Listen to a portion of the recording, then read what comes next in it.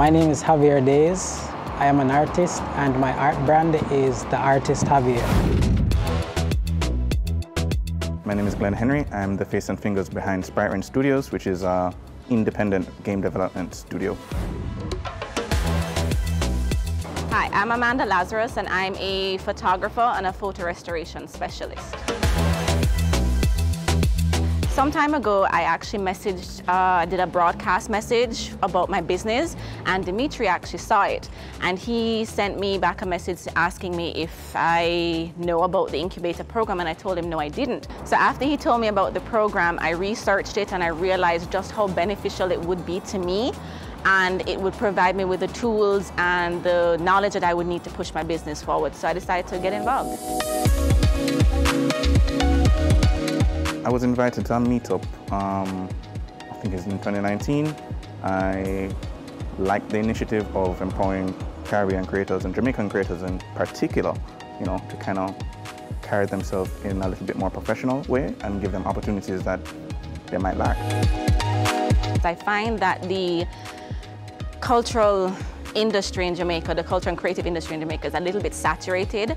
And I say that to say because it does tend to discourage people from starting. And that's actually been my hurdle, is to put myself out there and to just start and gain the confidence to start and try and find things. And I surprised myself by finding a niche that I am very, very passionate about, which is a photo restoration.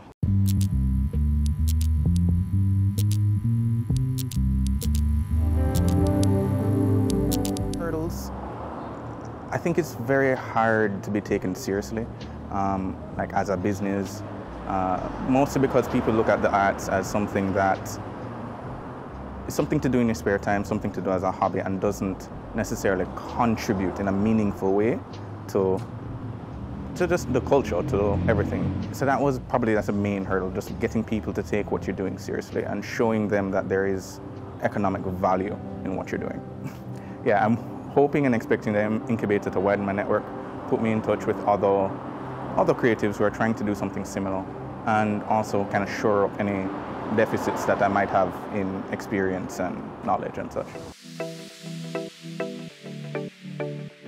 There are a lot of ups and downs in Jamaica's creative industry. Um, one of them is definitely having access to quality supplies and materials.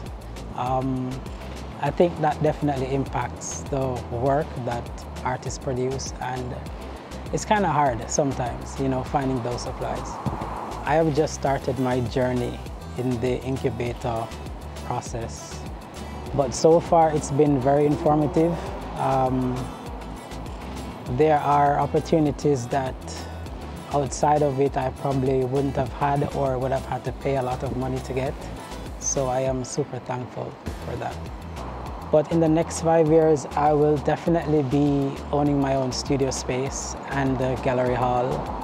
Um, my brand will definitely be more recognized locally and internationally. So with SpriteWrench, we have like three core business um, lines, which is creating our own IP, um, providing consultancy to other people who want to get into the space of the game industry. So we want to help out those people. And finally, we want to be able to like empower them. So publishing, um, being able to in, um, finance smaller creatives in the same way eventually. For me, uh, the incubator has like has allowed me to kind of work with other creatives um, has kind of forced me to kind of look at what I'm doing in a more structured way. It's not me just sitting in my bedroom plugging away at it. It's, okay, I need to think about how I'm presenting. I need to know how I'm talking about this in business terms and things like that. So basically, it's giving me a context to grow and I'm hoping that with that, I can really kick off something great.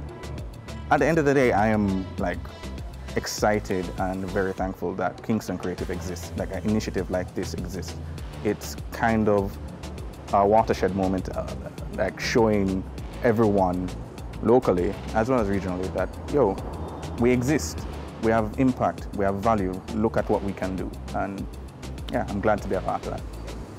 I expect that once I start to utilize the tools and learn a little bit more about what they have to offer for my business, that I will become more known and I'll start to thrive and become more impactful. To be honest with you, I don't actually have any solid and measurable goals at the moment. This is where the program comes into play to help me set that. I also hope to become the person that Jamaica entrusts to bring back their memories to life, because that's my slogan. And I also want to become one of Jamaica's top boudoir photographers and most influential artists. The impact that they've had on me so far is that they've opened my eyes to just how much potential business there is for me, particularly online, for my niche. And they have provided some amazing tools for us creatives because the creative industry, we're filled with people who mostly focus on our work and less on the business side of things.